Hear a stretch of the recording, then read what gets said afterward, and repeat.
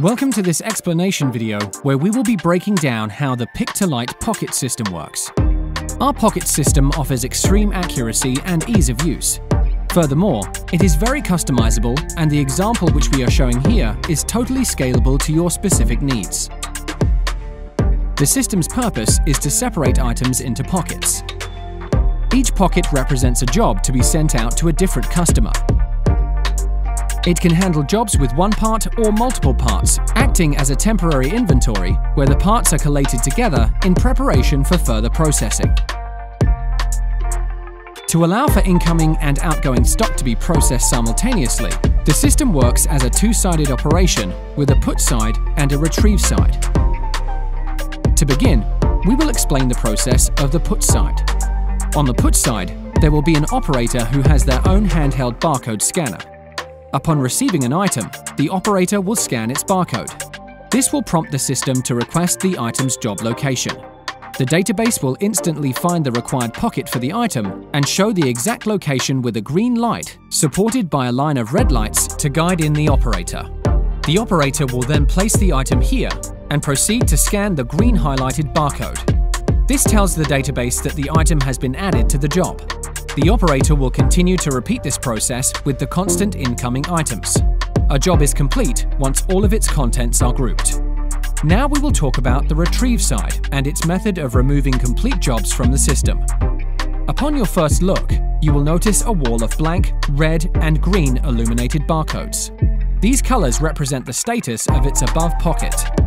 A red light means the job is assigned, however incomplete. A green light means the job is complete and ready to move on. And a blank barcode means the pocket is unassigned at this current point in time. An operator will be situated on this side with a handheld barcode scanner. When they see a green barcode light appear, they will be tasked with scanning this pocket screen barcode. Once scanned, it will turn yellow, indicating to the operator that it is selected and ready to be moved. Finally, they will move the complete contents of the pocket into a tote, which is waiting to be dispatched on a parallel conveyor belt. With the job loaded into the tote, the operator will scan the tote's barcode, and the tote will automatically dispatch and move down the conveyor to its next processing area. Now let's follow the complete journey of a product being processed through the system. It begins by being scanned by an operator and placed into a job's pocket. Once the job which it has joined is finished, the retrieve side's barcode will light up green. The operator on this side will scan the barcode, take the job's contents and place it into a tote. The barcode of the tote will then be scanned by the operator and the tote will automatically be dispatched to its next location. We know that having human operators can leave an opening for mistakes to be made. This is why we have made an error correction process, which is basic and easy to resolve any issues which you may encounter. The most common errors which are easily resolvable are on the put side. If an operator scans the wrong pocket, the system will light up red, and the operator will simply scan the item again and continue with the correct location. If the item which the operator scans isn't registered in the database, the wall of lights will illuminate red and the operator will have to put it aside and scan the next item to continue. If a red barcode is scanned, the whole wall will illuminate yellow to tell the operator it is not feasible.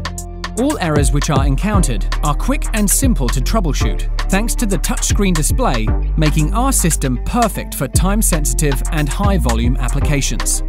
Operator and overall system performance metrics can be evaluated either using the touchscreen display or an external console, allowing for you to streamline efficiency. Staffing can be adjusted throughout the day if necessary, since the Pick-to-Light system acts as a buffer for your moving inventory. There are many ways in which we can configure our system to meet your requirements. Whether it's small, large, or an array of joined sections, we can make it happen, giving you total control over the size and capacity of your system. Furthermore, the individual pocket sizes can be adjusted to meet the specific needs of your inventory. Thank you for watching this explanation video. And if you would like to see more information on our other bin system, please be sure to watch our other Pick-to-Light videos.